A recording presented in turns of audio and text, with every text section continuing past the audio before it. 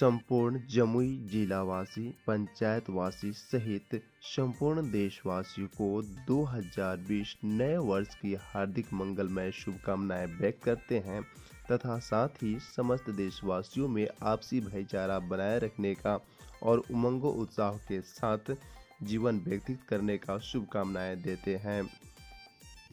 जमुई चरका पत्थर थाना क्षेत्र के दमहन पंचायत के मुखिया गजेंद्र प्रसाद यादव उर्फ़ गगन यादव।